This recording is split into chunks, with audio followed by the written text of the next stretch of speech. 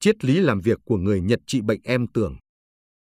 Trong công việc, mỗi khi có lỗi xảy ra, bạn có thể được nghe thấy câu bao biện kinh điển em tưởng. Tuy nhiên với người Nhật, dường như cụm từ đó không bao giờ xuất hiện trong từ điển. Vậy điều gì khiến họ có thể tránh được lỗi này?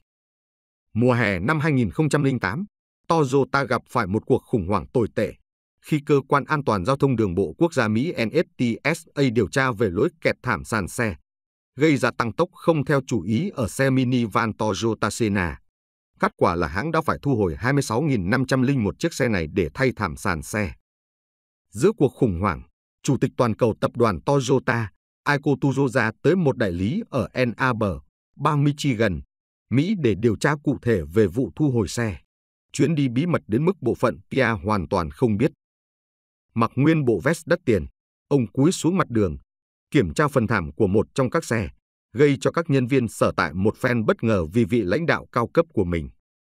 Quả là bất ngờ, vì với cương vị của chủ tịch tập đoàn ô tô lớn nhất thế giới, ông có thể ngồi ở văn phòng của mình tại Mikawa ngoại ô Nagoya, trụ sở của Toyota, đợi các báo cáo hàng chục trang được chuẩn bị chi tiết từ đại diện kinh doanh của Toyota tại Mỹ.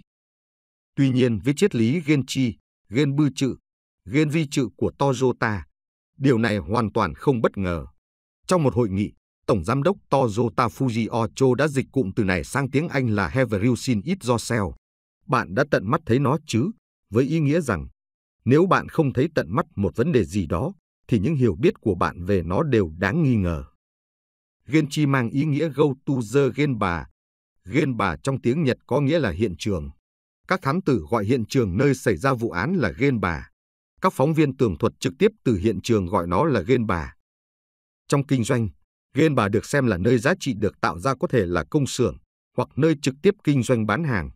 Gen bư trự là tình trạng của hiện vật hay rộng hơn là bằng chứng khách quan. Bằng chứng này có thể là máy móc bị hỏng hay là một khiếu nại của khách hàng. Còn ghen vi trự là tư duy hiện thực, khả năng nắm được hiện trạng của sự việc. Trong công việc, mỗi khi có lỗi xảy ra, bạn có thể được nghe thấy câu bao biện kinh điển em tưởng. Thường thì bệnh em tưởng hay xuất hiện ở các bạn mới đi làm. Có thể một phần nguyên nhân là các trường đại học tại Việt Nam giảng dạy theo thiên hướng đại cương, trung trung. Nên nếu bạn nào bằng lòng với kiến thức được cung cấp sẵn, thì sẽ không đào sâu đến tận cùng vấn đề để tận mắt thấy mọi thứ vận hành ra sao. Chính lý do đó khiến bạn trở nên mơ hồ trong những lý thuyết mà bạn nói ra. Đó cũng là lý do.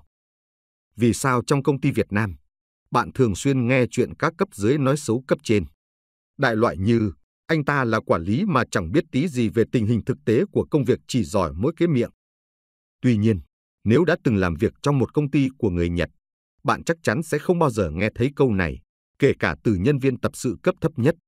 Lý do chính là người Nhật có hẳn một quy trình dựa trên triết lý Genchi, Genbu trự, Genji trự để tránh lỗi này.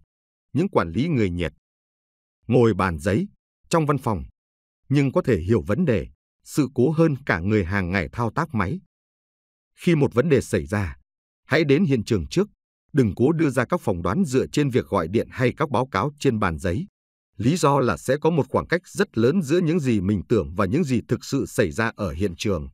Thêm nữa là sự việc qua cách nhìn một người khác và được báo cáo lại, sẽ bao gồm cả cách nhìn riêng của người đó. Kiểm tra kỹ càng hiện vật ghen bư trự, bởi vì chỉ có nhìn tận mắt mới có thể tin được. Seeing e believing, mọi báo cáo đều mang tính tương đối và chủ quan. Đưa ra đối sách, counter measure tạm thời để giải quyết vấn đề ngay lập tức. Sau đó, dựa trên những dữ liệu thực tế, đi tìm nguyên nhân gốc rễ của vấn đề. Cuối cùng, tiêu chuẩn hóa quy trình để tránh lỗi lặp lại.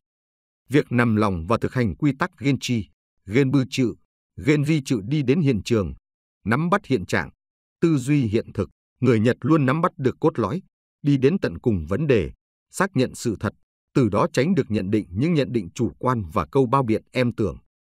Từ câu chuyện đó các bạn cũng có thể nhận ra rằng mọi sự vật, hiện tượng cần được trải qua thực nghiệm mới có thể có cảm nhận tốt nhất, chân thực nhất.